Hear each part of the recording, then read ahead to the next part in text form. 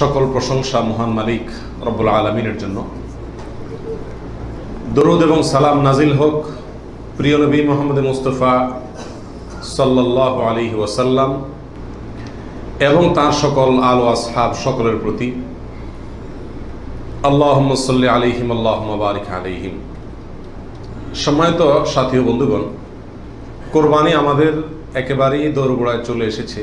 সেজন্য কোরবানিকে সামনে রেখে আজ আমরা প্রশ্নোত্তরে কোরবানি। এটা জানার চেষ্টা করব ইনশাআল্লাহ বিদিল্লা পঞ্চাশটিরও বেশি প্রশ্ন কোরবানি প্রসঙ্গে আমি একত্র করেছি। যে প্রশ্নগুলোর উত্তরগুলো আমাদের জানা খুবই প্রয়োজন এবং প্রশ্ন পেশ করে সাথে সাথে সংক্ষেপে আমরা তার উত্তর দেওয়ার চেষ্টা করব ইনশাআল্লাহ। খুব ডিপ বা গভীর এলমি বা একাডেমিক আলোচনায় আমরা যাব না। সংক্ষেপে শুধুমাত্র উত্তরগুলো টাচ করে যাব। যেন আমরা বিশুদ্ধ রূপে সঠিক উপায়ে জেনে শুনে ভালোভাবে আমাদের কোরবানি আমরা সম্পন্ন করতে পারি। আল্লাহ তালা আমাদের সবাইকে আমাদের কোরবানিগুলোকে বিশুদ্ধ রূপে করার তৌফিক দান করুন। যে কোনো আমলের আগে এলেম শিখতে হয়, জানতে হয়। আমলের আগে এলেম জরুরি।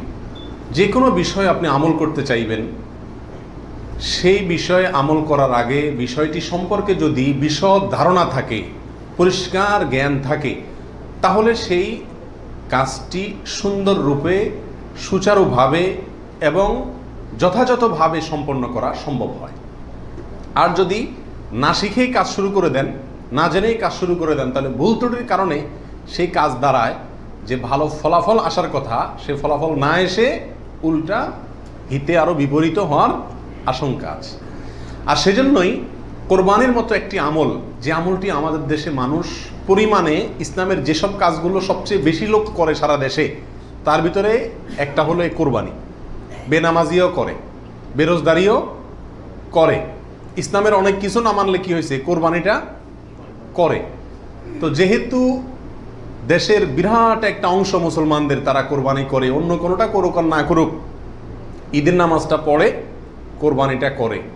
তো সেজন্য এই কোরবানিটাও যে করি আমরা, সেটাও বা কতটা বিশুদ্ধ হচ্ছে? এটা বড় প্রশ্নের বিষয়।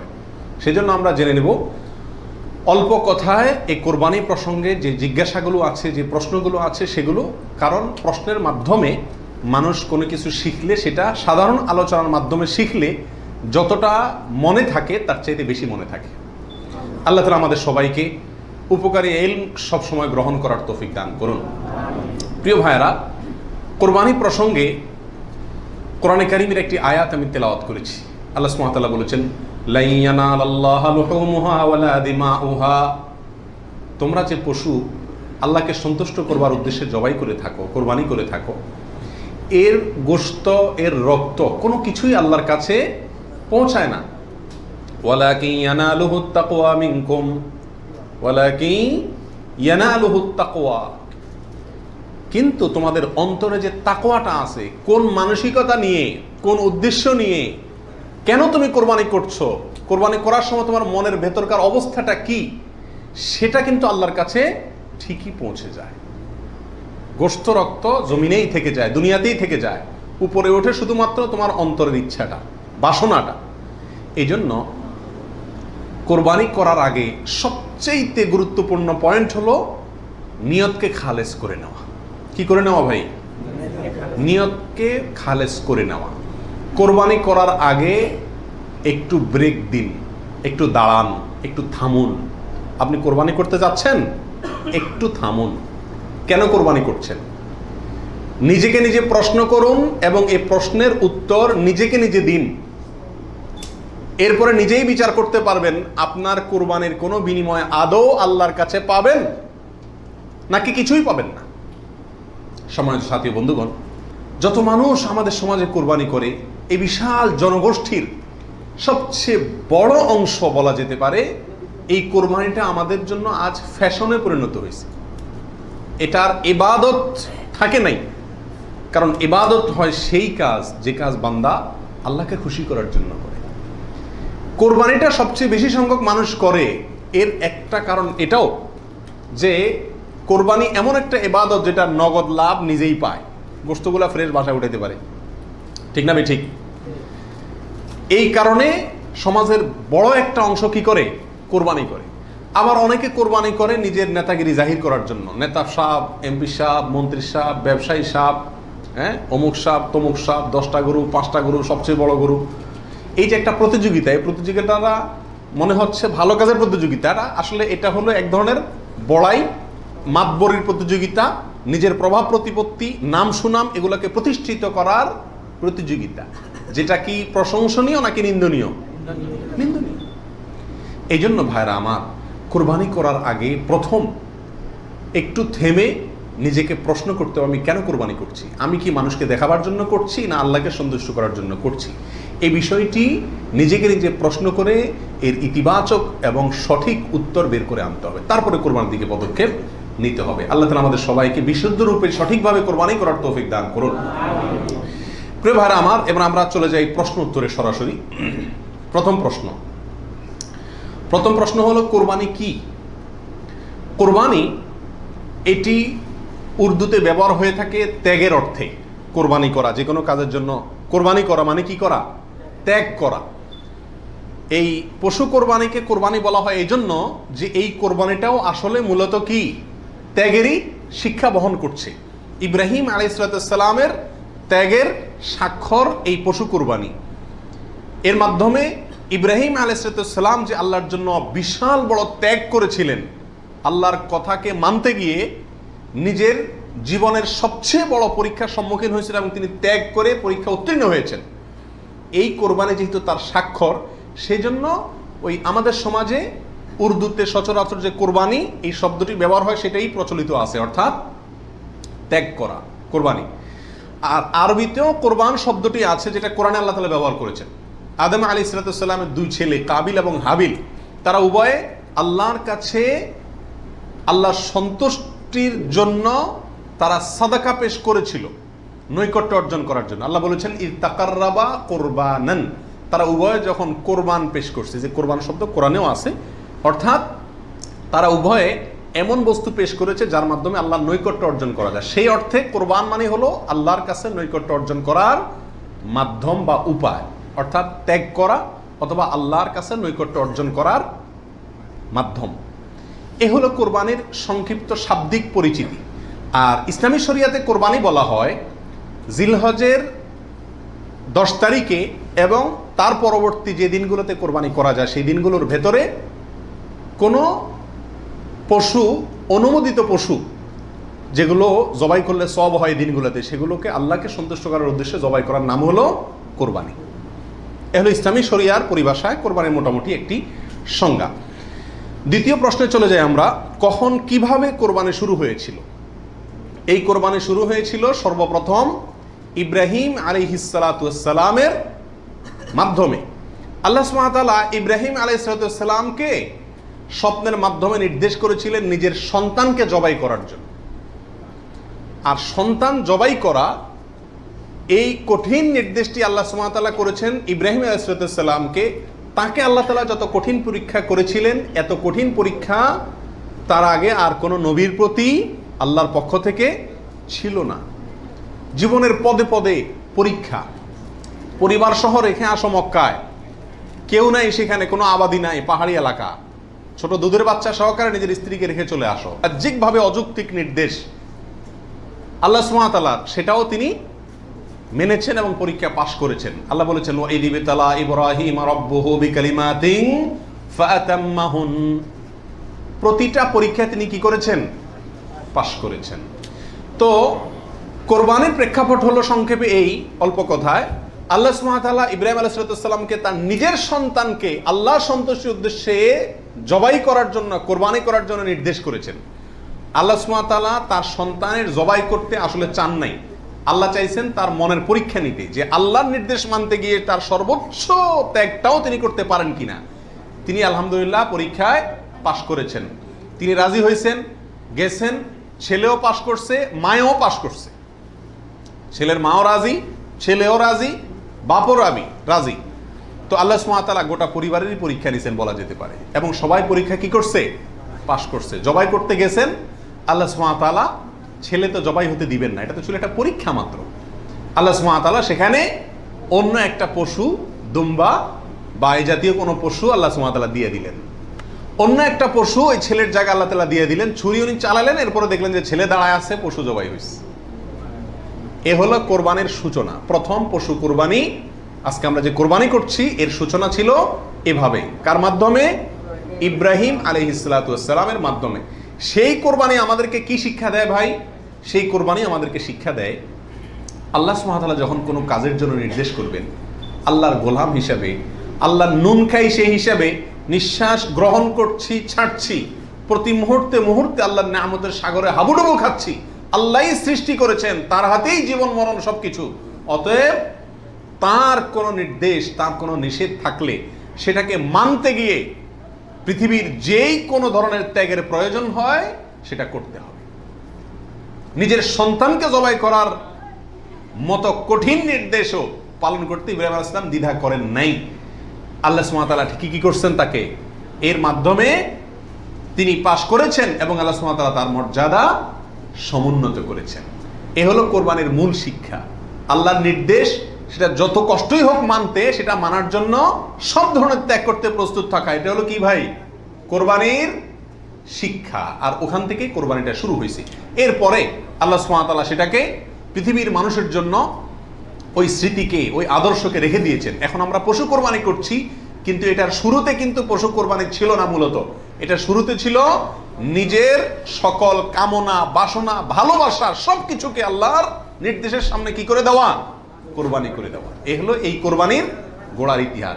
এখন কোরবানির খোলসটা আছে, ভেতরেরটা আর নাই। এখন শুধু পশুই কোরবানি করি আমরা।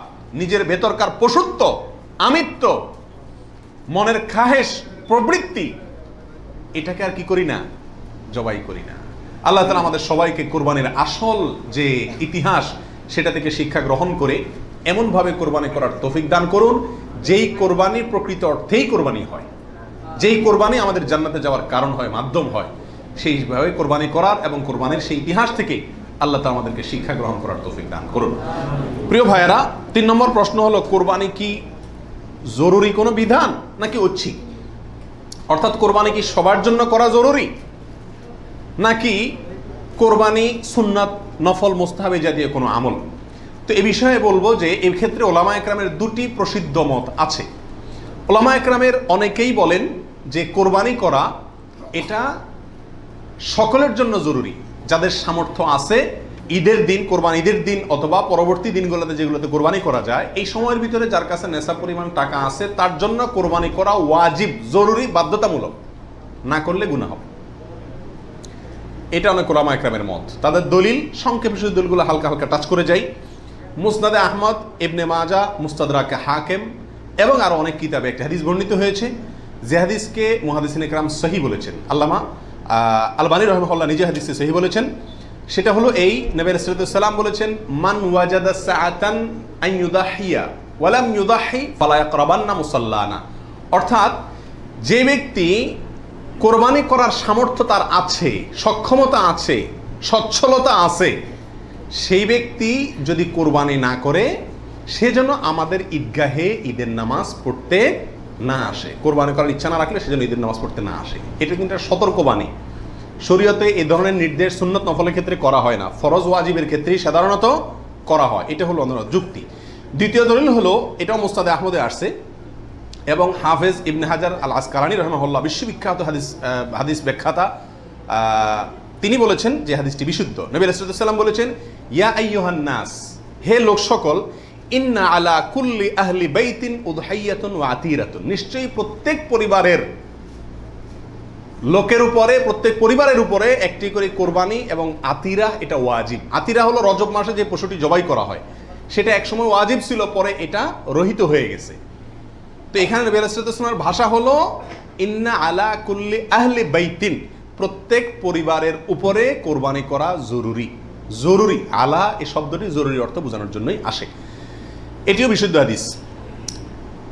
তাহলে আরও অনেকগুলো হাদিস আছে এই জাতীয়। যে হাদিসগুলোর আলোকে ওলামা ইকরামের একটা অংশ বলেন যে এই কোরবানি ওয়াজিব। ইমাম আজম আবু হানিফর রহমাল্লার মত এটা। এর বিপরীতে অনেক ওলামা ইকরাম বলেন, কোরবানি করা ওয়াজিব নয়, এটা সুন্নাতে মোয়াক্কাদা। সুন্নাতে মোয়াক্কাদা মানে কি? সুন্নত কিন্তু খুবই গুরুত্বপূর্ণ সুন্নত। বিনা কারণে এটা ছাড়া মাকরুহ, অপছন্দনীয়, ভালো কাজ নয়। সুন্নত মোয়াক্কাদ এবং ওয়াজিবের সাথে খুব বেশি তারতম্য নাই। কাছাকাছি গুরুত্বের বিচারে প্রায়। সাহাবিদের ভিতরে অনেক প্রসিদ্ধ সাহাবি, তারা কোরবানি করতেন না, ওয়াজিব মনে করবে মানুষ এই ভয়। এরকম কোনো কোনো বর্ণায় পাওয়া যায়। তারপরে কোনো কোনো বর্ণনা জানাবে সাহেব এটাকে সুন্নাতু আবিকুম ইব্রাহিম, এ জাতীয় শব্দ ব্যবহার করেছেন।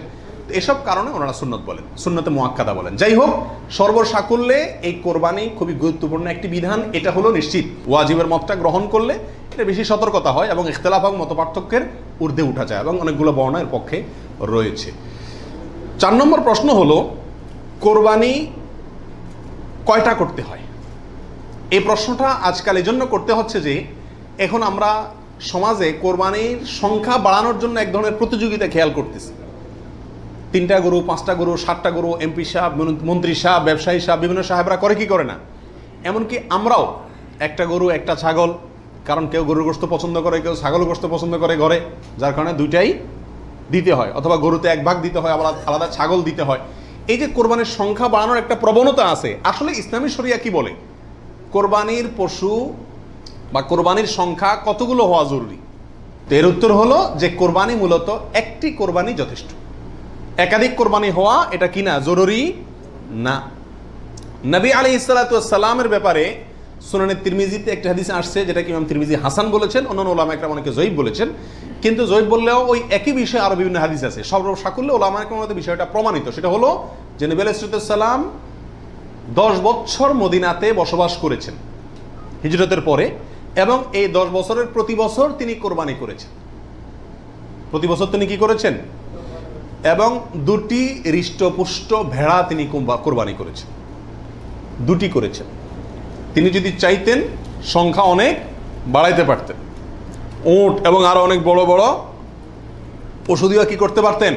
কোরবানি করতে পারতেন। কিন্তু দুটি ভেড়া কোরবানি করেছেন।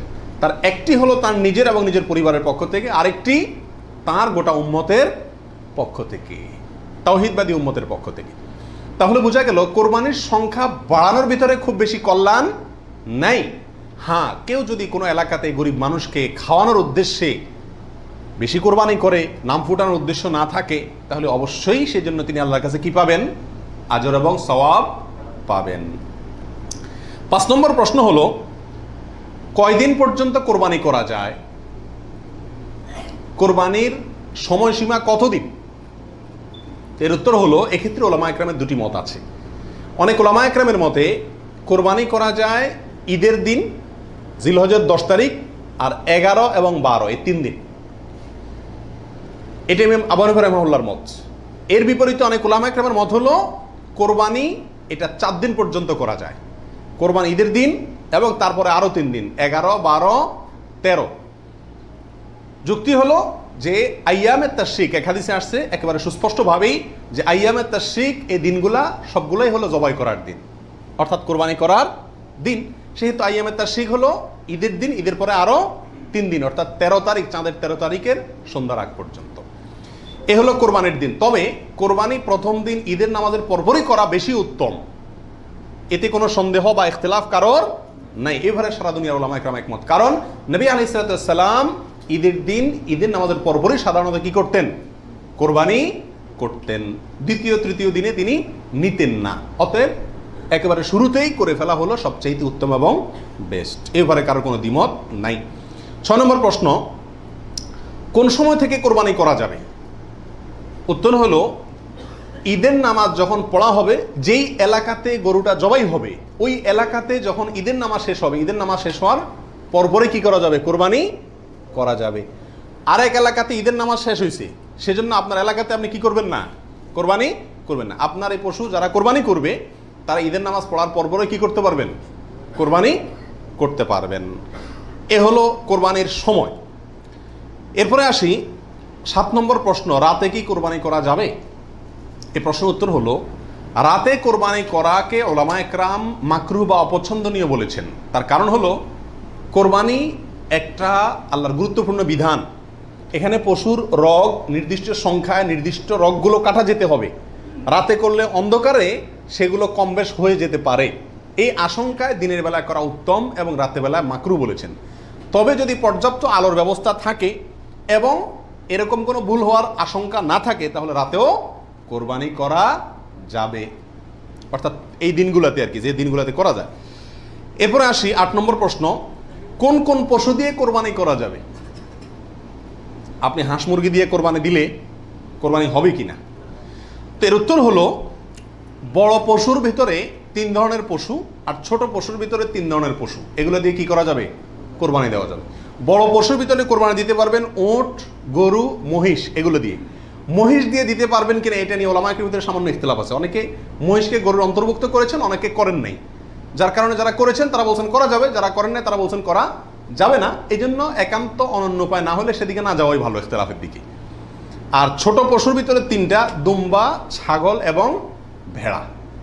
এগুলো দিয়ে কি করা যাবে? কোরবানি করা যাবে। এছাড়া অন্য কোনো পশু দিয়ে, এই গৃহপালিত পশু ছাড়া আপনি হরিণ দিয়ে অথবা অন্য কোনো হালাল পশু যেটা গৃহপালিত না, সেটা দিয়ে কি করা যাবে না? কোরবানি দেওয়া যাবে না, দিলে কোরবানি হবে না। নয় নম্বর প্রশ্ন হলো গাভী এবং ষাঁড় উভয়টা দিয়ে কোরবানি দেওয়া যাবে? কি বলেন? গাভী এবং ষাঁড় দুইটা দিয়ে কোরবানি দেওয়া যাবে? যাবে। গাভী দিয়েও দেওয়া যাবে, ষাঁড় দিয়েও দেওয়া যাবে। দশ নম্বর প্রশ্ন হলো, পশুর বয়স কত হতে হবে? কত বছর বয়স হলে আপনি সেই পশু দিয়ে কি করতে পারবেন? কোরবানি দিতে পারবেন। এর উত্তর হলো, পশু যদি হয় সবচেয়ে বড় পশু, অর্থাৎ ওট, তাহলে সেক্ষেত্রে সেটার বয়স হতে হবে কমপক্ষে পাঁচ বছর। কত বছর? পাঁচ বছরের নিচে যদি ওটের বয়স থাকে, ওইটা এমনি জবাই করতে খেতে পারবেন। কিন্তু কোরবানি হিসাবে কি করতে পারবেন না? জবাই করলে ওটা কোরবানি আদায় হবে না। গরু যদি হয়, তাহলে সেক্ষেত্রে তার বয়স হইতে হবে কমপক্ষে দুই বছর। আর ছাগল, দুম্বা, ভেড়া, এগুলো যদি হয়, তাহলে তার বয়স হইতে হবে কমপক্ষে এক বছর। তাহলে ছোট পশুগুলা এক বছর, গরু দুই বছর, ওট পাঁচ বছর। ছোট পশুর মধ্যে আবার দুম্বা, ভেড়া, এগুলো যদি ছয় মাসের বয়স, সাত মাস, আট মাসের বয়সেরটা দেখতে এক বছরটার মতো বড় দেখা যায়, তাহলে চলবে। কিন্তু ছাগলের ক্ষেত্রে পরিপূর্ণ কি হইতে হবে? এক বছর হওয়া লাগবে। এগারো নম্বর প্রশ্ন হলো দাঁত দেখে বয়স নির্ধারণ করে আমাদের দেশে। এটা কি ঠিক নাকি ঠিক কি বলেন আপনারা? এটা ঠিক। কারণ হলো, পশু বিশেষজ্ঞ যারা আছেন, পশু সম্পর্কে যারা ভালো বুঝেন, পশু লালন পালনে যারা দক্ষ, অভিজ্ঞ, তারা পশুর গালের ভেতরকার বিশেষ ধরনের দাঁত যখন একটা বের হয়, তখন বুঝেন এটা এক বছর হয়েছে দুইটা বের হলে বুঝেন দুই বছর হয়েছে এবং এটা অভিজ্ঞতা দ্বারা মোটামুটি প্রমাণিত, প্রতিষ্ঠিত। যার কারণে ওইটার উপরে নির্ভর করে বছর নির্ধারণ করা, নির্ণয় করা কি আছে? সঠিক। তবে কোনো পশু যদি নিশ্চিতভাবে জানা যায় তার বয়স এক বছর, দুই বছর বা যেই পরিমাণ বয়স, হওয়া দরকার সেই পরিমাণ বয়স হয়েছে কিন্তু দাঁত উঠে নাই, তবুও সেটা দিয়ে কি দেওয়া যাবে? কোরবানি দেওয়া যাবে। দাঁতটা মেইন না মেইন হলো বয়সটা ওই পরিমাণ হয়েছে কি না। ওই বয়সে হওয়ার পরও কি থাকতে পারে? দাঁত নাও থাকতে পারে। এরপরে আসি। বারো নম্বর প্রশ্ন, ত্রুটিযুক্ত পশু দিয়া কোরবানি দিলে কি কোরবানি হবে? ত্রুটিযুক্ত পশু। একটা পশু ভিতরে কোনো দোষ আছে, ত্রুটি আছে, সমস্যা আছে, রোগবালাই আছে, ওইটা এমনি জবাই করে খাইতে পারবেন। কিন্তু কোরবানি দিলে কোরবানি হবে কি না? এর উত্তর হলো, কিছু কিছু ত্রুটি আছে, যেই ত্রুটিগুলো থাকলে পশু কোরবানি করলে ওই কোরবানি যথেষ্ট হবে না। আর কিছু কিছু ত্রুটি আছে, যেগুলো থাকলেও কি দেওয়া যাবে? ওই ত্রুটি সহকারে কোরবানি দিলে কোরবানি হয়ে যাবে। কোন ত্রুটিতে আপনার কোরবানি দিলে কোরবানি হবে না। একটা হলো ল্যাংড়া হওয়া। এমন ল্যাংড়া যে ল্যাংড়ার কারণে সে পশুর পালের সাথে চললে পিছায় যায়, তাদের সাথে তাল মিলায় ধরে রাখতে পারে না। অথবা জবাই করার জায়গা পর্যন্ত হেঁটে যাওয়ার ক্ষমতা নেই, তাকে ঠেলা নিয়ে যেতে হয়, ছেঁচড়ায় নিয়ে যেতে হয়, শক্তি নেই পায়ে। এক পাও হোক, দুই পাও এরকম ল্যাংড়া খোঁড়া যদি হয়, তাহলে ওইটা দিয়ে কোরবানি দিলে কি হবে না? যথেষ্ট হবে না? হাদিসে সুস্পষ্টভাবে নিষেধ করা আছে। আরেকটা হলো যে এই পরিমাণ রুগ্ন, অসুস্থ, রোগা, যে রোগার কারণে সে চলাফেরা করতে পারে না। বা ওই যে হাঁটার শক্তি নেই, প্রচণ্ড রোগা, দুর্বল, সেটা দিয়ে কোরবানি দিলেও কি হবে না? কোরবানি হবে না। আরেকটা হলো যে অন্ধ, এমন অন্ধ, হয় চোখ কানা অথবা চোখ অন্ধ অথবা চোখে এমন সমস্যা আছে যে সমস্যার কারণে সে দেখে না। স্বাভাবিকভাবে ঘাস টাস রাখলেও সে বুঝে না কোনটা কি। অথবা ওই জায়গা পর্যন্ত দেখে একা একা যেতে পারে না, উষ্ঠা খায়। তার মানে চোখে বড় সমস্যা আছে। এরকম থাকলে এটা দিয়ে কি হবে না? কোরবানি হবে না। একটা শিং অথবা দুইটা শিং গোড়া থেকে উঠে গেছে, একেবারে গোড়া সহ উঠে গেছে। এরকম যদি হয় ওটা দিয়ে কোরবানি দিলেও কোরবানি হবে না। তবে যদি সামান্য হয়, সামান্য কান কাটা, সামান্য শিং ভাঙা, সামান্য একটু পায়ে সমস্যা, সামান্য একটু অসুখ বিসুখ আছে, এরকম যদি হয়, সেগুলো দিয়ে কোরবানি দিলে কি হবে? কোরবানি হয়ে যাবে। অর্থাৎ ত্রুটি যদি ছোট হয়, সমস্যা নাই। বড় ত্রুটি যদি হয়, তার কারণে কি হবে না? ওই পশু দিয়ে কোরবানি দিলে কোরবানি যথেষ্ট হবে না। তেরো নম্বর প্রশ্ন হলো, কেনার পর যদি ত্রুটি দেখা যায়, তাহলে কি করবে? আপনি ভালো পশু কিনে নিয়ে আসলেন। কোরবানি করবেন, রেখে দিচ্ছেন খাওয়াচ্ছেন। হঠাৎ করে দেখা গেল, চোখের সমস্যা, যে কোনো কারণে পা ভেঙে গেছে, বড় ধরনের সমস্যা হয়েছে, তখন কি করবেন? উত্তর হলো, যদি আপনি গরিব মানুষ হন, তাহলে সেক্ষেত্রে যেটা আছে ওইটাই জবাই করবেন। আর যদি আপনার সামর্থ্য থাকে, তাহলে সেক্ষেত্রে আপনার ওইটার বদলে আরেকটা পশু কিনে সেটাকে কি করবেন? কোরবানি করবেন। এরপরে আসেন চোদ্দ নম্বর প্রশ্ন, কোরবানির দিন হাঁস মুরগি জবাই করা জায়েজ আছে কিনা? আমাদের দেশে অনেকেই গ্রামের দেশে বলেন যে, কোরবানির দিনগুলোতে ঈদের দিনে কি করা যায় না? হাঁস মুরগি জবাই করা যায় না। আসলে কতটা সঠিক? উত্তর হলো, এটা সম্পূর্ণ ভিত্তিহীন বানোয়াট কথা। এর কোনো গ্রহণযোগ্য ভিত্তি ইসলামী শরিয়াতে নাই। বরং কোরবানি ঈদের দিনে কেউ চাইলে হাঁস বা মোরগ কি করতে পারবে, জবাই করতে পারবে। তবে যদি এটাকে কোরবানির নিয়তে করে যে আমার তো গরু, ছাগল দেওয়ার সামর্থ্য নয় আমি মুরগি দিয়েই দিলাম কোরবানি, তাহলে সেক্ষেত্রে এই জবাই কি হবে না? জায়েজ হবে না, কারণ এই পশু দিয়ে কি হবে না? কোরবানি হবে না। এমনি গোস্ত খাওয়ার জন্য যদি জবাই করে, তাহলে ঈদের দিনেও জবাই করাতে কোনো সমস্যা নাই। পনেরো নম্বর প্রশ্ন হলো, কোরবানির পশু এটা দেখায় বেড়ানো, প্রদর্শন করে বেড়ানো, এটা কি জায়জ আছে কিনা? আজকাল কোরবানির পশু কেনার পরে মহল্লাতে, গ্রামে, পাড়াতে, আশেপাশে একটা চক্কর মোটামুটি দেয়। দেয় না দেয় না? শুধু দেয় না, আপনার ওইটার গলায় একটা মালা লাগায় হ্যাঁ? পারে না একটা সাইনবোর্ড লাগায় দেয় কার এটা সেটা। এবং তারপরে ওই গরুকে নিয়ে পুরো এলাকাতে ঘুরায়। এরপর বলে যে এটা কার গরু? বলে অমুক অমুকের গরু। এরকম একটা প্রথা মোটামুটি অঘোষিতভাবে চালু আছে না নাই? এরকম প্রদর্শন করে বেড়ানো, এটা কি সঠিক? এর উত্তর হলো না। এই প্রদর্শনটা সাধারণত হয়ে থাকে জাহির করার জন্য, সবাইকে দেখানোর জন্য। আর এই দেখানোটার ভেতরে কল্যাণের চাইতে অকল্যাণ বেশি। কেউ যদি বলে, আমি এটা দেখাচ্ছি এই জন্য যাতে অন্যরা উৎসাহিত হয় তাহলে তো এটা ভালো উদ্দেশ্য। কিন্তু এই উদ্দেশ্যে খুব অল্প সংখ্যক মানুষই কী করে? এটাকে শোডাউন করে। বরং এটা শোডাউন করে কি জন্য? সবাই জিজ্ঞেস করবে, ভাই, এটার দাম কত হয়েছে কার গরু? মাশাল্লাহ জিতছে হাসছে এসব যোগ বিয়োগ করবে। ঠিক না ঠিক? অতএব মানুষকে দেখায় বেড়ানোর উদ্দেশ্যে যদি এই কোরবানির পশুকে প্রদর্শন করা হয় শোডাউন করা হয়, তাহলে এটা রিয়া এবং রিয়ার কারণে গুণাগার হবে। এটা করা যাবে না। আল্লাহ আমাদেরকে বোঝার তৌফিক দান করুন। ষোলো নম্বর প্রশ্ন হলো, কোরবানির পশু কেনার পরে এবং জবাই করার পরে পশুর সঙ্গে সেলফি তুলে এটা ফেসবুকে দেওয়া যাবে কিনা? সামাজিক যোগাযোগের মাধ্যমে প্রচার করা যাবে কিনা? ইসলামের দৃষ্টিতে এর ভিতরে কোনো এর ব্যাপারে কোনো বাধা আছে কিনা? এর উত্তর হলো, কোরবানির পশু কেনার পরে অথবা জবাই করার পরে ওই পশুর সাথে সেলফি দেওয়া। সেলফিটাই তো অনেকের মতে এটা একটা মানসিক রোগে পরিণত হয়েছে।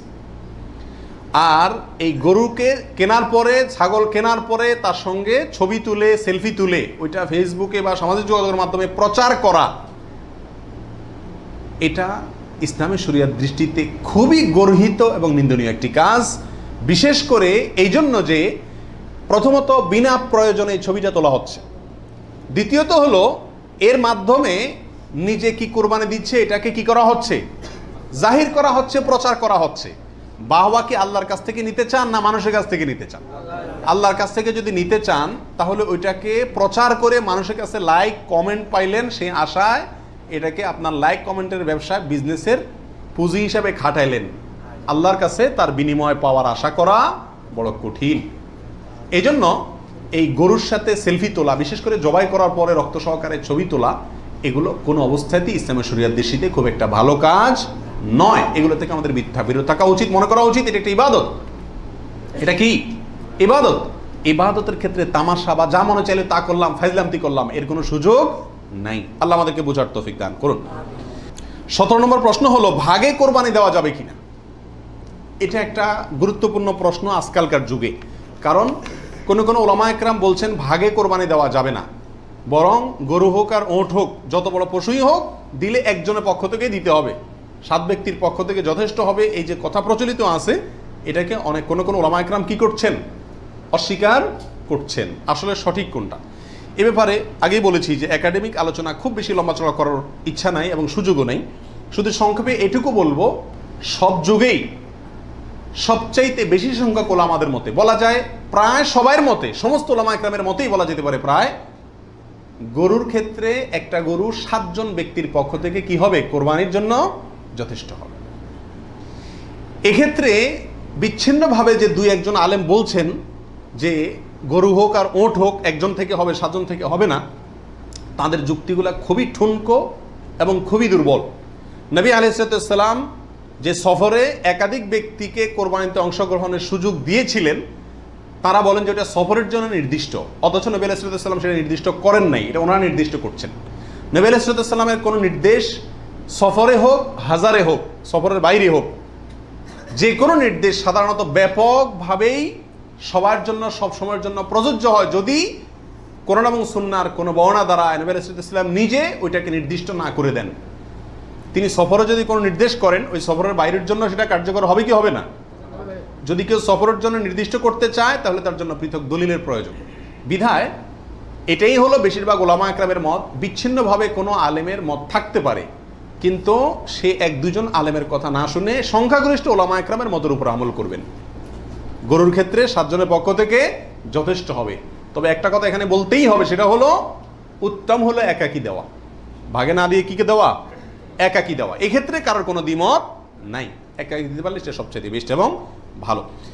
আঠারো নম্বর প্রশ্ন হলো, পরিবারের সব সদস্য বা একাধিক সদস্য যদি সামর্থ্যবান হয়, তাহলে সবাই দিবে? নাকি গোটা পরিবারের পক্ষ থেকে একজন দিলেই চলবে? নবী আলাইসালাম থেকে এক্ষেত্রে একটা হাদিস বর্ণিত হয়েছে, যেটা একটু আগে আপনাদেরকে শুরুতে আমি শুনেছি। মোসাদ আহমদের বর্ণিত হয়েছে এবং আরও অনেক হাদিসের কিতাবে কাছাকাছি হাদিস বর্ণিত হয়েছে। নবী আলাইসাল্লাম বলেছেন যে, প্রত্যেক পরিবারের উপরে একটি কোরবানি জরুরি। প্রত্যেক পরিবারের উপরে ওজহাইয়াতুন একটি কোরবানি জরুরি। আলা কুল্লি আহলি বাইতিন, এ ধরনের শব্দ তিনি ব্যবহার করেছেন, প্রত্যেক পরিবারের উপরে। এ হাদিস থেকে বোঝা যায়, কোরবানি এটা এক পরিবারে একাধিক সদস্য যদি হয়, সামর্থ্যবান, তথাপি যিনি মূল কর্তা, তিনি দিলেন, তাহলে সবার পক্ষ থেকে হয়ে যাবে। এর বিপরীতে ওলামা একরামের আরেকটি মত আছে, যেটা ইমাম আবু হিবার মহল্লার মত। সেটা হলো, কোরবানি পরিবারের একাধিক সদস্য যদি, সবাই যদি সামর্থ্যবান হয়, তাহলে প্রত্যেকের পক্ষ থেকে দিতে হবে। ওনার যুক্তি, উনি বলেন নবেল ওই হাদিস, যে হাদিসে তিনি বলেছেন, যার সামর্থ্য আছে আর কোরবানি দেয় না, সেজন্য ঈদগাহে না আসে। এখানে এখানে যার সামর্থ্য আছে, প্রত্যেক ব্যক্তিকেই সামিল করে এই নির্দেশনা। বিষয়টা গবেষণামূলক। উভয় পক্ষেরই দলিল এবং যুক্তি আছে। তো এক্ষেত্রে সতর্কতামূলক মত যদি অবলম্বন করি আমরা, তাহলে প্রত্যেকেরই যার যার সামর্থ্য আছে তার পক্ষ থেকে করা যেতে পারে এবং করলে সমস্যা হবে এটা কারোর মতেই নাই। উনিশ নম্বর প্রশ্ন হলো, সাত ভাগের নিচে হলে কোনো সমস্যা আছে কিনা গরুতে? একটা গরুতে ধরেন পাঁচজন মিলে দিলেন, চারজন মিলে দিলেন, তিনজন মিলে দিলেন, ছয়জন মিলে দিলেন, সাতের নিচে হলো, এটা কি যথেষ্ট হবে? না কোনো সমস্যা আছে? এর উত্তর হলো কোনো সমস্যা নাই। আমাদের দেশে অনেকে মনে করেন যে গরু দিলে সাত পুরা করতে হবে। এই জন্য যখন সাতের সংখ্যা না পায়, তখন এবার খুঁজে খুঁজে অনেক মৃত মানুষকেও যোগ করে। যেভাবে হোক কি করতে হবে? সাত পুরা করতে হবে। বিষয়টা এরকম না। কোরবানির গরুতে সর্বোচ্চ সাত পর্যন্ত দেওয়া যায়। তিনজন, দুইজন, সাতজন পাঁচজন, ছয়জন যে কোনো সংখ্যায় সাতের নিচে থাকলেই কোরবানি দেওয়া যাবে। এরপরে আসেন বিশ নম্বর প্রশ্ন হলো অমুকের নামে কোরবানি দেওয়া, তমুকের নামে কোরবানি দেওয়া, সাত নামে, তিন নামে, পাঁচ নামে, এরকম একটা কথা সমাজে প্রচলিত আছে। এই কথাটা বলাটা সঠিক কিনা এর উত্তর হলো না, এটা সঠিক না। এই কথাটা ভুল, কিন্তু এই ভুলটা এমন ভুল না যে ভুলের কারণে বড় ধরনের গুণা হয়ে যাবে, কারণ এটা বলার ভুল। এভাবে বলাটা উচিত না, কারণ কোরবানি হবে মূলত আল্লাহ সুবাহতালার নামে। অতএব পাঁচ নামে, চার নামে, তিন নামে, সাত নামে কোরবানি হয় না। নাম শুধু একটাতেই হয়, সেটা হলো বিসমিল্লা আল্লাহর নামে। ঠিক না ঠিক? অতএব এই কথাটা বলার ভুল। এখানে বলতে হবে সাতজনের পক্ষ থেকে, তিনজনের পক্ষ থেকে বা তিন শরিক, পাঁচ শরিক, পাঁচ শেয়ার, পাঁচ ভাগ, এভাবে বলা যেতে পারে। কিন্তু বা অমুকের পক্ষ থেকে, তমুকের পক্ষ থেকে এভাবে বলা যেতে পারে। কিন্তু অমুকের নামে, তমুকের নামে এভাবে বলাটা উচিত নয়। যদিও এখানে কেউ এই উদ্দেশ্যে বলে না যে আল্লাহর সাথে শরিক করে তিনজনের নামে দিচ্ছি। এরকম কেউ উদ্দেশ্য নেয় না, সেজন্য এটা কি হবে না? শিরকে পৌঁছাবে না। তারপর এভাবে না বলাই উচিত এবং উত্তম, নিরাপদ। একুশ নম্বর প্রশ্ন হলো, নারী ভুড়ি এটা অনেক সময় নিজেরা সাফ করতে কষ্ট হয় বা পারে না, তখন কাউকে দিয়ে সাফ করায়। সাফ করানোর পরে বলে, সাফ করে দিবা, তুমি অর্ধেক নিবা, আমাদেরকে অর্ধেক দিবা। এরকম হয় কি হয় না? তাকে নারী বুড়ির অংশ দিলেন অথবা পশুর গোষ্ঠের অংশ দিলেন, এটা জায়েজ আছে কিনা? প্রাসঙ্গিকভাবে আরেকটি কথা প্রশ্ন চলে আসে, সেটা হলো যে কষাই যখন পশুকে বানায়, তো বানানোর পরে তাকে টাকার চাতে কিছু গোস্ত দেওয়া হয়। এবং অনেক সময় দেখা যায় যে বানানোর যে বাজার রেট তার যে মজুরি, এটা তাইতে অনেক কমে রাজি হয়ে যায় কষায়রা কেন? কারণ তারা জানে গোস্ত পাঁচ কেজি দিলেই তো দুই আড়াই হাজার টাকা এসে গেল। অতএব এক্ষেত্রে যদি আমাকে টাকা একটু কমও দেয়, অসুবিধা নাই। এই ভুলটা ঘরে ঘরে হয়ে থাকে। কোরবানির পশু যারা বানায় সে কসাইদেরকে গোস্ত দেয় না। এমন মানুষ সারা বাংলাদেশে খুঁজে কয়জন পাওয়া যাবে আমার সন্দেহ আছে। কোরবানির মধ্যে সবচেয়ে বড় দাগের ভুলগুলোর ভিতরে এটা অন্যতম। এভাবে যদি কেউ করে, তাহলে এটা বড় ধরনের ভুল। কোরবানি হওয়া, না হওয়া নিয়ে টান দিবে। নেবে সালাম পরিষ্কার ভাষায় বলেছেন যে, তোমরা কসাইকে, জাজ্জারকে কোরবানির পশুর কোনো কিছু দিবা না। তাকে আলাদা টাকা দিবা। তার মজুরি যেটা সেটা দিবা। কেন তাকে পশুর কিছু দেওয়া যাবে না? এই জন্য দেওয়া যাবে না যে, এই পশুটা আপনি জবাই করছেন কার জন্য? আল্লাহর জন্য। এটার মালিক কে মূলত? আল্লাহ। যেহেতু আল্লাহ খায়ও না, পরেও না, আল্লাহর জন্য কিছু দিলে আল্লাহ বলেন, আমার পক্ষ থেকে গরিবকে দিও। এটা হলো আল্লাহ সিস্টেম। কিন্তু কোরবানির ক্ষেত্রে শুধু ব্যতিক্রম আল্লাহ বলেছেন, ঠিক আছে, আমার জন্য দিস সব কিছুই গরিবকে দিতে বলি, এটা তোমার খাইতে দিলাম আমি। আল্লাহ আমাকে কি করছেন? খাওয়ার সুযোগ দিছেন। এখন আমি যদি এটা বিক্রি করি বা কোনো কিছুর বিনিময়ে কাউকে দেই, তাহলে সেটা কি হবে না? জায়েজ হবে না।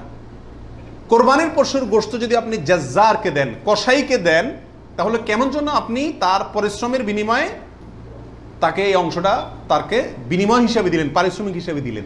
তাহলে বিক্রি করার মতো হয়ে গেল। এই জন্য কি হবে না এটা? জায়েজ হবে না। কসাইকে শুরুতে সাপ বলে দিতে হবে যে, ভাই গোস্ত পাবা না। কত টাকা নিবা সাপ বলো, তুমি সে আশা করে বসে থাকিও না। দু টাকা বেশি নাও, কিন্তু আমি তোমাকে গোস্ত টোস্ত বা কোনো কিছুই দেবো না। তবে হ্যাঁ কষাই যদি আপনার প্রতিবেশী হয়, আপনার আত্মীয় হয়, অথবা অন্য গরিব মানুষ হয়, অন্য দশজন গরিবকে যে পরিমাণ দিতেন, তাকেও সে পরিমাণ দেন, তাহলে সমস্যা নেই। ওইটা ঠিক আছে। কিন্তু অন্য গরিবদেরকে দেন আধা কেজি করে, তারা দেন পাঁচ কেজি। সমস্যা আছে। কারণ সাড়ে চার কেজি আপনি কেন দিলেন তাকে? কাটছে সেজন্য। এটা বিনিময় হয়ে যাচ্ছে এই এটা করা যাবে না। অতএব নারী বুড়িও যদি কেউ সাফ করে, তাকেও কি দেওয়া যাবে না? ওই নারী বুড়ি সাফের বিনিময়ে নারী বুড়ির অর্ধেক বা গরুর কোনো অংশ তাকে দেওয়া যাবে না। সাফ করলে সাফের বিনিময়ে তাকে ক্যাশ টাকা দিয়ে দিবেন। কথা বুঝতে পারছি? নারী বুড়ি যদি দিতে হয়, তাহলে গরিব মানুষ হিসাবে দিলেন, সেটা ভিন্ন কথা। কিন্তু অ্যাজ এ তার কাজ পারিশ্রমিক হিসাবে কি করতে পারবেন না, দিতে পারবেন না। এটা বড় বহুলের ভিতরে একটা এবং এটা প্রচুর পরিমাণে মানুষকে সচেতন করা দরকার ব্যাপারে। বাইশ নম্বর প্রশ্ন হলো, কোরবানির ভাগিদারদের মধ্যে কারও ইনকাম হারাম। অথবা উদ্দেশ্য অসৎ গোস্ত খাওয়ার উদ্দেশ্য। আছে না নেই? কোরবানি না দিলে ছেলে মেয়েগুলা কার দিকে চেয়ে থাকবে? কোরবানি না দিলে নতুন আত্মীয়, তারা কি বলবে? ব্যয়ের বাড়িতে রান কেমনে পাঠাবো? এরকম অনেক উদ্দেশ্য থাকে কি থাকে না? সারা জীবন দিয়ে আসছি, এবছর না দিলে সমাজে মুখ থাকে না। মানুষ কি বলবে? এই মানসিকতা নিয়ে কোরবানি অনেকে দেন না দেন না? এরকম যদি কেউ আপনার ভাগিদারদের মধ্যে, অংশীদারদের মধ্যে থাকে, অথবা কেউ যদি কোরবানি করে, তার ইনকাম হারাম, আর সে হারাম ইনকাম থেকেই দেয়। অনেকের হারামও আছে, হালালও আছে। সুদও খায়, ঘুষও খায়, আবার বেতনও আছে, হালাল। তাহলে সেটা ভিন্ন। একজনে কোরবানির পশুতে হারাম ইনকাম ইনভেস্ট করছে, আপনি জানেন। অথবা তার উদ্দেশ্য অসৎ। তাহলে এই পশুতে আপনি এবং আরও যে কজন অংশগ্রহণ করবে, কারোর কোরবানি হবে না। এই জন্য অংশীদার এবং কোরবানির ভাগই নেওয়ার ক্ষেত্রে বহু হিসাব নিকাশ করে নিতে হবে। যে ব্যক্তি গোষ্ঠের ধান্দায় বা অন্য কোনো ধান্দায় করে, তাকে ভাগিদার নেওয়া যাবে না। কথা বুঝে আসছে? নিতে হবে যে শুধুমাত্র আল্লাহ সন্তুষ্ট করার জন্য, আল্লাহর সন্তুষ্টির জন্য যে কোরবানি করে তাকে এবং সরাসরি হারাম টাকা ইনভেস্ট না করে ওই ব্যক্তিকে। যার ইনকাম হালাল। এরকম ব্যক্তিকে ভাগিদার হিসাবে নিতে হবে। আর না হলে ভাগি দেওয়ার দরকার নাই। একা একাই দিতে হবে। আল্লাহ তৌফিক দান করুন। তেইশ নম্বর হলো, রসুল করিম সাল্লাহ সাল্লামের পক্ষ থেকে কোরবানি দেওয়া যাবে কি না আমাদের দেশে প্রচুর পরিমাণে মানুষ রসুল করিম সাল্লাহ সাল্লামের পক্ষ থেকে কি দেয়? কোরবানি দিয়ে থাকে। এর উত্তর হলো, রসুল আকরাম সাল্লাহ সাল্লামের নামে উম্মত হিসাবে আপনি তার পক্ষ থেকে কোরবানি দিতে পারবেন। নবী আলাইসালাম নিজেও কোরবানি দিয়েছেন তার উম্মতদের পক্ষ থেকে। তবে মৃত ব্যক্তির নামে কোরবানি দেওয়ার ক্ষেত্রে জীবিত ব্যক্তির সাথে মিশিয়ে দেওয়া, মিক্স করে দেওয়া, জীবিত ব্যক্তির সাথে অধীনস্থ করে মৃত ব্যক্তির নাম যোগ করা বা তার পক্ষ থেকে দেওয়া, এটা হলো সবচেয়ে ঝামেলামুক্ত এবং মতপার্থক্যের ঊর্ধ্বে উঠা। কথা বুঝাতে পারছি? শুধুমাত্র মৃত ব্যক্তির নামে স্বতন্ত্র কোরবানি না দিয়ে মৃত, জীবিত জীবিত ব্যক্তির নিজের নামের সঙ্গে মৃত ব্যক্তিকে যুক্ত করে দিলেন। এই মতটাই হলো সবচাইতে সতর্কতামূলক মত এক্ষেত্রে, মৃত মানুষের পক্ষ থেকে কোরবানি দেওয়ার ক্ষেত্রে। চব্বিশ নম্বর প্রশ্ন হলো, মা, বাবা, স্ত্রী, বড় ভাই, এদের কাউকে খুশি করার জন্য কারোর পক্ষ থেকে, সমাজে বলে কারোর নামে, কোরবানি দেওয়া যাবে কি যাবে না? উত্তর হলো না। এটা রিয়া, লৌকিকতা, মানুষ দেখানো, এটা শিরকে আসগর। আমাদের সমাজে একটা সমস্যা দেখা দেয় কোরবানির সিজন আসলে। কথার কথা একটা পরিবারে আপনি একটা গরুতে একটা অংশ কোরবানি দিবেন অথবা ছাগল কোরবানি দিবেন। সেক্ষেত্রে মা চায় যে আমার নামে দেখ মানে আমার পক্ষ থেকে দেখ, বাপে চায় যে আমার পক্ষ থেকে দেখ। এখন ছেলে চিন্তা করে, কারে খুশি করব? অনেক সময় স্ত্রী, স্বামী দুজনের ভিতরে চায় যে আমার নামে দেখ। বড় ভাইয়ের নামে না দিলে বড় ভাই মুখ কালো হয় এই জন্য কার নামে দিবে এটা নিয়ে এক ধরনের হেজিটেশনে মানুষ ভুগে। এক্ষেত্রে অনেক সময় অংশ বাড়ায় দেয় শুধু মাকে খুশি করার জন্য, যে ওনার নামেও কি করলাম? একটা দিলাম। এটা এক ধরনের রিয়া বা লৌকিকতা। যদিও, যদি সবের উদ্দেশ্যে থাকে যে উনি ভালো কাজ করতে চান, সেই হিসাবে ওনাকে আমি ভালো কাজে সহায়তা করলাম। তাহলে ভিন্ন কথা।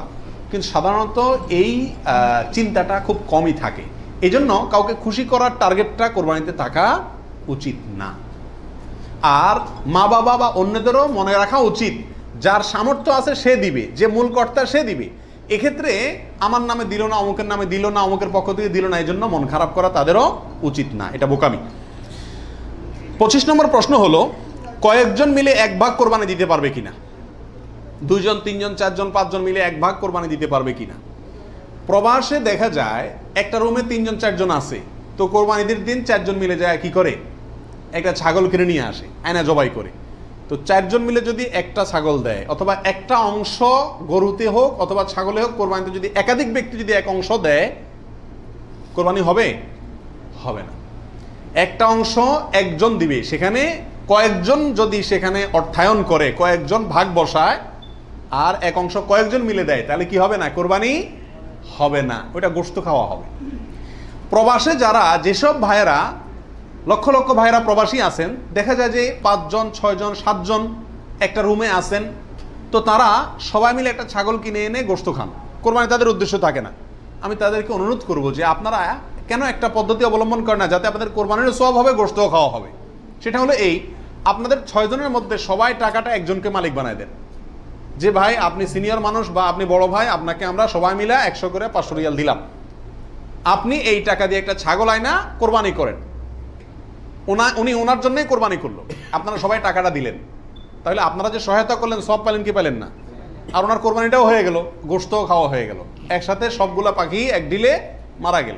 আর যদি সবাই ঈদের দিনই জবাই করবেন ছাগল, তাহলে কোরবানি কেন করবেন না? একটু চালাক হলেই কোরবানির সবটাও হয়ে যাচ্ছে গোস্ত খাওয়াটাও হয়ে যাচ্ছে। প্রবাসী ভাইদের ভিতরে এই সমস্যাটা প্রকট, প্রচুর পরিমাণ দেখা যায়। যে পাঁচ ছজন মিলে ছাগল কিনে কোরবানির নিয়ত কেউই করে না, অথবা সবাই মিলে কোরবানির নিয়ত করে, যার দুইটাই কি? ভুল। ছাব্বিশ নম্বর প্রশ্ন হলো, কোরবানির টাকা অন্য কেউ যদি দিয়ে দেয়, তাহলে কোরবানি হবে কি না আমি গরিব মানুষ, আমি কোরবানি করতে চাচ্ছি। অথবা সামর্থ্যবান, আমাকে একজনে টাকা দিয়ে দিল যে আপনাকে একটা ছাগল দিয়ে দিলাম। অথবা আপনার ছাগলের টাকা দিয়ে দিল যে আপনি কোরবানি দিয়েন। আমার পক্ষ থেকেই কোরবানি দেওয়ার জন্য কেউ আমাকে টাকা দিয়ে সহায়তা করল হেল্প করল। এতে আমার কোরবানি দিলে কোরবানি হবে কি হবে না? কি বলেন আপনারা? হবে। যদি কেউ টাকা দিয়ে আপনাকে কোরবানির জন্য সহায়তা করে, ছাগল কিনে দিল, গরু কিনে দিল, কোরবানির অংশের টাকা দিয়ে দিল, আপনার পক্ষ থেকে কোরবানি দেওয়ার জন্যই আপনাকে টাকা দিছি। তার টাকা দিয়ে আপনি নিজে কোরবানি দিলেন নিজের পক্ষ থেকে। এটাতে কোনো অসুবিধা নাই।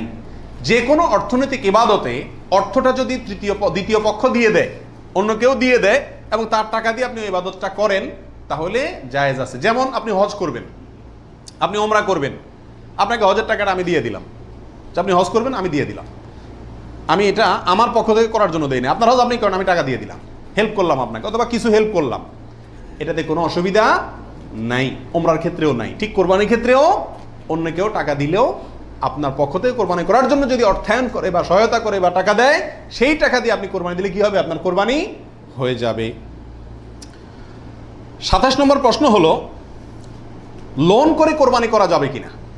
হাওলাত করে, ঋণ করে কোরবানি করা যাবে কিনা? এর উত্তর হলো যাবে। যদি সেই ঋণের টাকাটা দেওয়ার মতো ব্যবস্থা বা ইচ্ছা, সদিচ্ছা থাকে, তাহলে ঋণ করেও কি দেওয়া যাবে? ঋণ করে ভালো কাজ করা যায়। আঠাশ নম্বর প্রশ্ন হলো, ঋণগ্রস্ত ব্যক্তির জন্য কোরবানি দেওয়া উত্তম নাকি ঋণ দেওয়া উত্তম? উত্তর হলো, ঋণ দেওয়া উত্তম। কারণ কোরবানির চাইতে তার জন্য ঋণের গুরুত্ব বেশি। সে যদি ঋণগ্রস্ত হয়, তার জন্য কোরবানি, ইসলামী শরীয়তে তার জন্য কোরবানি না। তার জন্য ঋণ দেওয়া জরুরি। সে ঋণ পরিশোধ করবে, এরপরে টাকা থাকলে কোরবানি দিবে, না থাকলে কোরবানি দিবে না। কিন্তু আমাদের আজকাল অবস্থা হলো, ঋণ থাকলেও আমরা কোরবানি দিই, কারণ না দিলে মুখ রক্ষা হয় না। ছেলে মেয়ে কার দিকে চেয়ে থাকবে? গোষ্ঠ থেকে খাবে? অতএব এগুলা কোরবানি না, এগুলা নিছক গোস্ত খাওয়া এবং ফুর্তি। উনত্রিশ নম্বর প্রশ্ন হলো, হাজি সাহেবদের জন্য দেশে কোরবানি করা জরুরি কিনা? যারা হজ করতে আসছেন, তারা দেশে তাদের পক্ষ থেকে কোরবানি দিতে হবে কিনা? উত্তর হলো, না। হাজি সাহেবরা যারা আসছেন, তারা হজ করতে এসে হজের পরে তারা দমের শকর দিচ্ছেন সুক্রিয়া স্বরূপ যে দম দিচ্ছেন, যেটাকে আমরা কোরবানি বলি। এখানে দিচ্ছেন, তাদের জন্য দেশে তাদের পক্ষ থেকে আর কোরবানি দেওয়া কিনা জরুরি না। তাছাড়া তারা মুসাফির। মুসাফির অবস্থায় মুসাফির ব্যক্তির জন্য কি দিতে হয় না? কোরবানি দিতে হয় না। তিরিশ নম্বর প্রশ্ন হলো, বিয়ের অলিমার গোস্ত সংগ্রহের জন্য কোরবানি করা যায় আছে কিনা? আমাদের দেশে উল্লেখযোগ্য সংখ্যক বিয়ে হয়ে থাকে কোরবানিদের পরে। আপনারা খেয়াল করবেন। আগদ হয়তো আগে পরে হয়। খাওয়ান দাওয়ানের অনুষ্ঠান হয় কোরবানিদের পরে। আল্লাহ মাফ করুক, কোরবানির সময় তো গরু একটা এমনিই জবাই করা লাগে। তো ওই সময় যদি অলিমার অনুষ্ঠানটা বা বৌভাতের অনুষ্ঠানটা করা যায়, তাহলে তো ওই গোস্ত দিয়েই সারা যায় গোস্তের টাকাটা বেঁচে যায়। যদি কারোর এরকম উদ্দেশ্য থাকে, তাহলে সেক্ষেত্রে তার কোরবানি হবে না। আর যদি কেউ মনে করে যে না, ঈদের পরে সবাইকে পাইতে সুবিধা হয়, সেজন্য ওই টাইমটাতে করতেছি, অথবা আপনার কোরবানি করলাম অলিমার জন্য আলাদা গরু জবাই করলাম, অথবা আপনার কোরবানির গোস্ত অলিমার জন্য করি না, আমি অলিমা করলেও একটা গরু দেই অন্য বছর না থাকলেও একটা গরু আল্লাহর জন্য দেই। এরকম যদি কেউ থাকে, তাহলে তার জন্য আছে। আর তা না হলে এই কোরবানির গোস্ত দিয়ে অলিমা সারা, অনুষ্ঠান সারা, এটা যদি ওই উদ্দেশ্যে করে, তাহলে সেক্ষেত্রে এটা কোরবানি হবে না, বরং এটা এক ধরনের তামাশা হবে কোরবানির নামে। বত্রিশ নম্বর প্রশ্ন হলো, কোরবানির সুন্না পদ্ধতি কি? কোন দিকে ফিরে জবাই করতে হবে? এর উত্তর হলো, কোরবানির সুন্নাসম্মত পদ্ধতি হলো পশুকে মাথা দক্ষিণ দিকে দিয়ে পাও ক্যাবলামুখী করে তারপরে বিসমিল্লাহি আল্লাহ আকবার বলে কি করতে হবে? জবাই করতে হবে। জবাই করার ক্ষেত্রে সাধারণত পশুর কানকে গলার দিকে টেনে ধরলে যে জায়গায় এসে কান থামে, ওই জায়গা বরাবর যদি ছুরি চালানো হয়, তাহলে খুব দ্রুত পশুর জবাই হয়ে যায়, কষ্ট কম হয়। হাঁটি টাটির উপরে যায় না সাধারণত। বাকি এই জায়গাটা ধরে যেখানে হাড্ডি নেয়, সেখানে ছুরি চালানো এবং পশ্চিম দিকে ফিরিয়ে দক্ষিণমুখী করে করা। যদি কেউ অন্য কোনো দিকে ফিরে করে ফেলে তাহলেও তার কোরবানি হয়ে যাবে। কিন্তু এটা সুন্নার খেলাফ হলো। রসুল আকরাম সাল্লাহ সাল্লাম থেকে এভাবে কোরবানি করাটাই প্রমাণিত আছে। বত্রিশ নম্বর প্রশ্ন হলো, কোরবানির ভাগিদারদের নাম জপা কোরবানির পরে, এটা জরুরি কিনা? আপনারা দেখবেন, ভাগিদারে কোরবানি যদি দেয়, তার লিস্ট লিখতে লিখতে অবস্থা খারাপ হয়ে যায়। এবং যিনি কোরবানির পশু জবাই করেন, ওই হুজুর নাম নিতে নিতে অবস্থা খারাপ। আল্লাহর নামে এতবার নেয় কিনা সন্দেহ, এতবার ওই ভাগিদারদের নাম নেয়। কারণ ভালো করে নাম নিলে টাকা পাওয়াও, কোরবান জবাইয়ের টাকা পাওয়াও কঠিন হয়ে যাবে। তো এটা জরুরি কিনা? উত্তর হলো, এটা মুস্তাহাব। কোরবানি করার পরে আল্লাহ তাকাব্বাল মিন ফোলান ফোলান ফোলান। আল্লাহ এটাকে অমুকের পক্ষ থেকে নাম ধরে তাদের পক্ষ থেকে কবুল করুন। এরকম বলাটা মুস্তাহাব উত্তম। রসুল আকরম সাল্লাহ সাল্লাম নিজেও বলেছেন, আল্লাহ এটা আমার পক্ষ থেকে কবুল করেন, এটা আমার উম্মতের পক্ষ থেকে কবুল করেন। আমার আমার পরিবার, এটা আমার উম্মদের পক্ষ থেকে। তাহলে এই, এভাবে সবাইয়ের পক্ষ থেকে কোরবানি যে কজন দিচ্ছে তাদের পক্ষ থেকে কোরবানি হচ্ছে, এই কথাটা এবং তাদের পক্ষ থেকে আল্লাহ কবুল করেন এটা বলাটা উত্তম, মুস্তাহাব কিন্তু কি না? কোনো কারণে যদি এটা কেউ বলতে ভুলেও যায়, নিয়ত যেহেতু আছে, আল্লাহ জানেন। অতএব কি হয়ে যাবে? কোরবানি হয়ে যাবে। তেত্রিশ নম্বর প্রশ্ন হলো শ্বশুর বাড়ি থেকে কোরবানির পশু হাদিয়া নেওয়া যায় আছে কিনা? জোরে সোরে এই কালচারটা ইদানিং ছড়াইতেছে। মানুষের টাকা পয়সাও হয়েছে। তো এই জন্য ওই মেয়ের বাপের বাড়ির পক্ষ থেকে ছেলের বাপের বাড়িতে গরু পাঠায়, ছাগল পাঠায়। আগে পাঠাইতো রান। কল্লা গোস্ত এখন গোস্ত কল্লা আর রানে জামাইরাও খুশি না, আর বাপ মাও দিয়া সন্তুষ্ট না। এই জন্য পাঠায় ডাইরেক্ট গরু বা ছাগল। এটা জায়েজ আছে কিনা? উত্তর হলো, যদি হাদিয়া হিসাবে দেয়, তাদেরও সামর্থ্য আছে, অভাব নাই। আর এটা লোকচক্ষু ভয়ে অথবা সমাজের মানুষের বলার ভয়ে বা অন্য কোনো কারণে না দেয়, এমনি আসলে হাদিয়া দিছে, তাহলে তো হাদিয়া নেওয়া তো জায়েজ আছে, বরং সুন্নত। কিন্তু যদি এটা হয় যে না দিলে, জামাই কি বলবে? জামাইয়ের মা খোঁচাবে, অমুকরা খোঁচাবে, তমুকরা খোঁচাবে, এসব কারণে যদি দেয়, তাহলে সেটা গ্রহণ করা জামাই, জামাইয়ের পরিবারের জন্য কি হবে না? জায়েজ হবে না। এবং এটা খুবই বাজে একটা কালচার উচিত তো হলো জামাই বাবা জিয়ে শাশুড়ির জন্য, শ্বশুরবাড়ির জন্য গরু, ছাগল পাঠানো। এটা হলো উচিত। কারণ তারা সারা জীবন এই মেয়েটাকে বড় করে লাখ লাখ টাকা ইনভেস্ট করে, মানুষ করে আমাকে দিয়ে দিছে। আমি বছরে বছরে একবার করে তাদের একটা গরু, ছাগল দিতে পারলে ভালো হয়। খবরদার। আবার শ্বশুর বাড়িতে দিলেন বাহর বাড়িতে কিছুই দিলেন না। অনেকে আছে শ্বশুর বাড়ির অন্ধ আবার। সেটাও আবার সঠিক না। ব্যালেন্স রাখতে হবে। আল্লাহ তৌফিক দান করুন। পঁচিশ নম্বর প্রশ্ন হলো, বৈদ্যুতিক মেশিনে জবাই করা জায়েজ আছে কিনা? আপনারা জানেন যে উন্নত দেশগুলোতে বৈদ্যুতিক মেশিন দিয়ে জবাই করার একটা কালচার প্রচলিত আছে, বা অটোমেটিক মেশিন দিয়ে জবাই করার কালচার আছে। এটা দিয়ে জবাই করলে জবাই হবে কিনা? উত্তর হলো, পশু জবাই হওয়ার জন্য শর্ত হলো, পশুর নির্দিষ্ট কয়েকটা রগ আছে, রগগুলা কাটা যেতে হবে এবং রক্ত প্রবাহিত হইতে হবে। যদি কোনো বৈদ্যুতিক শক ইত্যাদির মাধ্যমে পশুকে দুর্বল করে ফেলা হয়, যে দুর্বল করার ফলে অনেক সময় বাঁচে কিনা এটাই সন্দেহ হয়। এরপরে ছুরি চালানো হয়, তাহলে ওই পশু দিয়ে কোরবানি করা জায়েজ হবে না। কারণ যে দুর্বল বানায়, তাকে কি করা হচ্ছে? মারা জবাই করা হচ্ছে। বিধায় এটা জায়েজ নাই। আর যদি ছুরি দিয়ে করা হয় এবং মানুষের হাত না লাগে এবং বিসমিল্লা বলা হয়, মুসলমানে সুইচ চালায়, তাহলে সেক্ষেত্রে ছুরি দিয়ে যদি জবাই হয়, কাটা যায়, তাতে কি হবে? কোরবানি হয়ে যাবে ইনশাল্লাহ এবং জবাই বিশুদ্ধ হবে। পঁয়ত্রিশ নম্বর প্রশ্ন হলো, জবাইয়ের সময় বিসমিল্লা জ্বলতে যদি কেউ ভুলে যায়, তাহলে কি করবে? এর উত্তর হলো, নিজের পশু তো নিজে জবাই করা উত্তম। যারা প্রফেশনাল জবাই করেন মৌলভী সাহেবরা, তারা তো ভুলের কথা না কারণ তাদের অভ্যাসই আছে। নিজেটা নিজে করতে গেলে ডরে ভয়ে ভুলেও যেতে পারে। যদি কেউ ভুলে যান, ভয়ের কোনো কারণ নাই।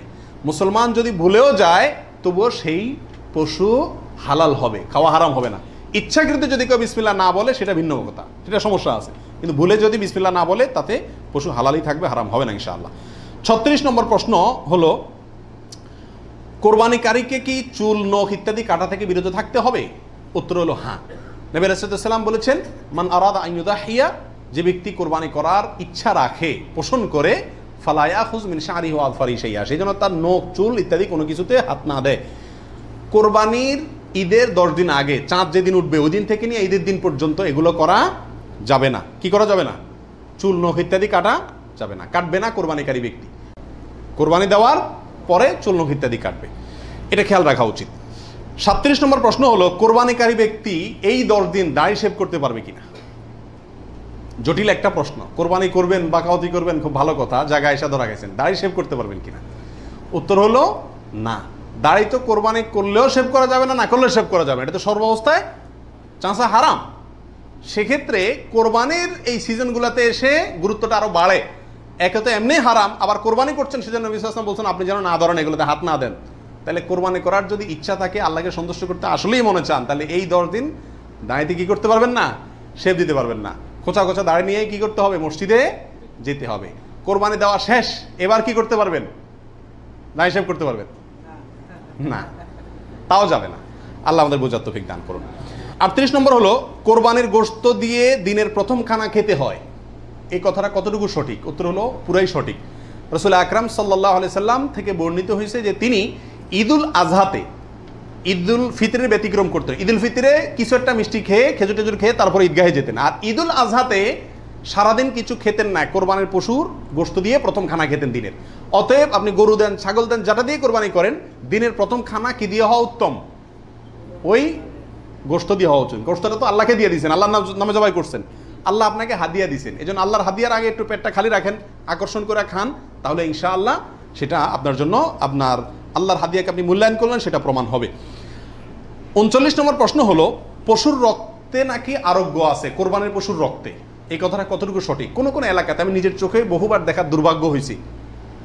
অনেকে দেখা যায় কোরবানির পশু জবাই করার সময় রক্তগুলা একটা বাড়িতে করে নিয়ে যায়, গরম গরম। এরপরে নিয়ে পোলা পানিরে খাওয়ায়।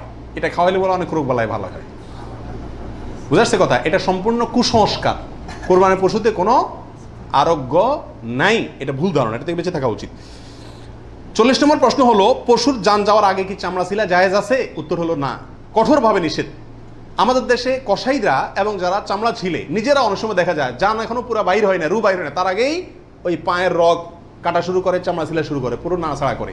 এটা জায়েজ নাই, এটা গুনাহের কাজ। আপনি কোরবানি করছেন ইবাদত, অথচ গুনাহ হচ্ছে সাথে। নবী বলেছেন, ইন্নাল্লাহ কাতাবাল ইহসান আলা কুল্লি শাই আল্লাহ সব বিষয়ের প্রতি ইহসান করার নির্দেশ করেছেন। অতএব, ফাইদা কাতালতুম ফাহসিনুল কিতলাতা ওয়াইদা জাবাহতুম জাবিহাতা তোমরা যখন কোনো পশুকে জবাই করবে, তখন ওই পশুর প্রতি রহম করিও। ভালো করে ধারটা দিয়ে নিবে নবী বলছেন। যাতে করে তার রু বের হইতে কষ্ট না হয়। সেখানে জীবিত অবস্থা এখনও মরে নাই, আপনি চামড়া সিলা শুরু করে দিলেন। এটা খুবই অন্যায় এবং জুলুম। কোনো পশু ইয়া কষায় যদি করে, তাকে থামাই দিবেন যে রু যেতে দাও, তারপরে হাত দাও। একচল্লিশ নম্বর প্রশ্ন হলো, কোরবানি আর আকিকা, এ দুটো একসাথে দেওয়া যাবে কি না এটা কমন প্রশ্ন আমাদের সমাজে। এর উত্তর হলো অনেক ওলামায়করামের মতে দেওয়া যাবে। ফতোয়া স্বামী ইত্যাদিতে তাই লেখা আছে, যে দেওয়া যাবে কোরবান আকিকা একসাথে, একই গরুর মধ্যে। আর অনেক ওলামায়কের মধ্যে দেওয়া যাবে না। দেওয়া যাবে না, এর ভিতরে আপনার পাকিস্তানের খুব নামকরা মুফতি ছিলেন মুফতি রশিদ আহমদ রহমাহুল্লাহ আসানুল ফতুয়ার লেখক। তিনি হানাফি মাযহাবের বড় ওলামা একরামের মধ্যে থেকে, তিনি কঠোরভাবে এর বিরুদ্ধে করেছেন এবং বলেছেন, কোন অবস্থাতেই কোরবানি আর আকিকা একসাথে মিক্স করা যায় না, উচিত না। কারণ কোরবানি একটা ইবাদত, আকিকা আরেকটি ইবাদত। আর তাছাড়া গরু এক অংশে একাধিক ব্যক্তি দিতে পারবে, এটা কোরবানির ক্ষেত্রে ওয়াসাল্লাম বলছেন। আকিকার ক্ষেত্রে বলেন নাই। সেই জন্য কোরবানি এবং আকিকা পৃথক হওয়া উচিত। একই দিনে হতে পারে, কিন্তু গরুর অংশে কোরবানির না, এই আকিকার কারণ নামের অংশ থাকা উচিত না। এই মতটা বেশি শক্তিশালী এবং বেশি সতর্কতামূলক। বিয়াল্লিশ নম্বর প্রশ্ন হলো, ভিন্ন দেশে কোরবানি করা যাবে কি না? আপনি দেশে আছেন, আপনার কোরবানি দেশে, আপনার পক্ষ থেকে হলো, এটা জায়জ আছে কিনা? উত্তর হলো আছে। এটা কোনো কোনো ক্ষেত্রে উত্তম হয়, যদি আপনার উদ্দেশ্য হয় এমন যে, ওখানে আরও বেশি অভাবী মানুষ আছে, আমি তাদেরকে গোস্ত দেব। কিন্তু সবসময় এটা হওয়া উচিত না। প্রবাসীরা যেখানে আছেন সেখানেও কোরবানির কালচার চালু করা উচিত। আমার জানা মতে প্রবাসী যারা আছেন, লক্ষ লক্ষ প্রবাসী সবাই কোরবানি দেওয়ার সামর্থ্য আছে। এদের টেন পার্সেন্ট লোকও এখানে কোরবানি দেয় না। কারণ কোরবানি দিলে আমার গোস্ত খাবে কে? দান্দা হলো গোস্তের দিকে। এটা সব যদি মনে করে তাহলে তো যেখানে থাকি সেখানেই দেওয়া উচিত। এটা হলো মূল বিধান। অন্য জায়গায় আপনি দিবেন, যদি সেখানে দিলে বেশি সব হয়। অবশ্যই গ্রামে আমাদের দেশে গরিব বেশি, সেই হিসাবে সেখানে গোস্ত দিলাম, সেই নিয়তে দিলেন, ঠিক আছে। কিন্তু আপনি যদি এই নিয়তে দেন যে আমি এখানে গোস্ত যদি কোরবানি দেই, তাহলে গোস্ত সব হাতে বুতে খাইব। আমার পরিবারের লোকজন তো পাইবো না। এই নিয়ত যদি হয়, তাহলে সেটা কিন্তু অন্যায় এবং ভুল। তেতাল্লিশ নম্বর প্রশ্ন হলো, ভিন্ন দেশে কোরবানি করলে কোন সময়ের দিকে খেয়াল করে কোরবানি করবে? কথার কথা, আপনার কোরবানি দেশে হচ্ছে। তো এখানে যদি একদিন আগে পরে চাঁদ দেখা দেখি হয় টাইম আগে পরে হয়, তাহলে কোন হিসাবে করবে? আপনার সময় না তাদের সময়? আপনার কোরবানি কিন্তু। এর উত্তর হলো যেই দেশে কোরবানি হচ্ছে, পশু যেখানে আছে, সেখানকার সময় দেখে কি করতে হবে? কোরবানি করতে হবে। আপনার এখানে ঈদের নামাজ হয়েছে কি হয় না সেটা দেখা দেখির দরকার নাই। চল্লিশ নম্বর প্রশ্ন হলো, কোনো কারণে কোরবানি করতে না পারলে, পশু কিনছেন কিন্তু কোরবানি করতে পারেন না করবেন কি? উত্তর হলো যে পরবর্তীতে কি করে দিবেন আপনি? সদকা করে দিবেন। মৃত ব্যক্তির নামে কোরবানির বিধান কি? একটু আগে যেটা বললাম, অর্থাৎ শুধু মৃত ব্যক্তির নামে আলাদা কোরবানি দেওয়া যায় অনেক ওলামাইকরাম বলেন। কিন্তু অনেক ওলামাইকরাম বলেন যারা মৃত ব্যক্তির সাথে জীবিত ব্যক্তিকে, জীবিত ব্যক্তির সাথে মৃত ব্যক্তিকে যোগ করে দেওয়া যাবে। আপনি একটা ছাগল দিলেন, বললেন যেটা আল্লাহ আমার এবং আমার মৃত বাবার পক্ষ থেকে। এভাবে করা যাবে। আর নবী আলাইসালাম একটি ছাগল তার পুরো উম্মতের পক্ষ থেকে দিয়েছেন। জীবিত, মৃত, সবাই মোটামুটি এর ভিতরে সামিল। আটচল্লিশ নম্বর গেল। ছেচল্লিশ নম্বর হলো, কোরবানের পশুর চামড়ার বিধান কি? উত্তর হলো, কোরবানের পশুর চামড়া এটা নিজে ব্যবহার করতে পারলে সেটা করা উচিত। চামড়া প্রসেস করে ব্যবহার করতে পারে, এটা করা উচিত। কোথাও কোথাও মানুষ খায়। যদি খাইতে পারেন চামড়া পরিষ্কার করে, সেটাও আপনার জন্য ঠিক আছে। কিন্তু কোরবানির পশুর চামড়া বিক্রি করা হয় আমাদের দেশে বেশিরভাগ ক্ষেত্রে, এই কাজটা অনুত্তম কাজ, অনুচিত কাজ। কেন?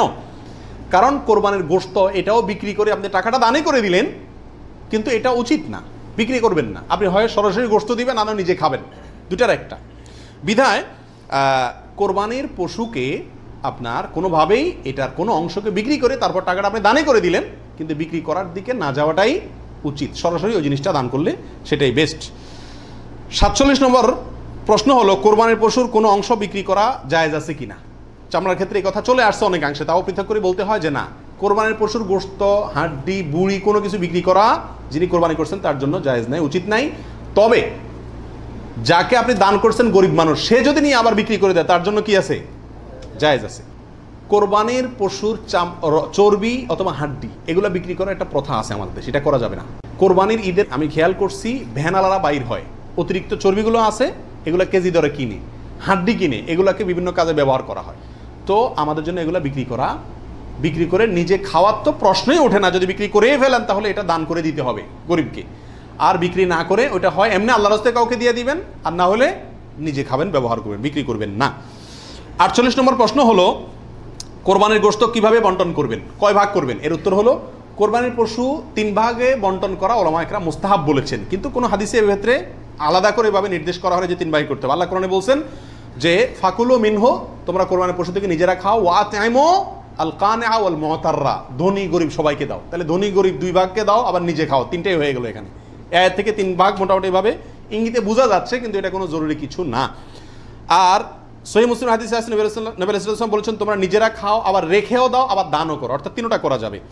আবার সহি মুসলিমের আরেক বর্ণায় আসছে, তোমরা খাও এবং মানুষকে খাওয়াও।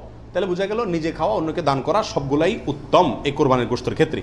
উনপঞ্চাশ নম্বর প্রশ্ন হলো, সমাজে ভা, সমাজের ভাগ বলে একটা ভাগ প্রচলিত যেটা জায়জ আছে কিনা? অনেক এলাকাতে কোরবানি করার পরে সমাজের ভাগ উঠায় নেয় জোর করে। বা বলা ছাড়া, জোর করা লাগে না, এমনি সবাই দেয়। এটা জায়েজ আছে কিনা? উত্তর হলো, এটা উচিত না। এটা অন্যায়। কেন? কারণ আমরা পাঁচজন মিলে একটা গরুতে অংশগ্রহণ করলাম, দিলাম।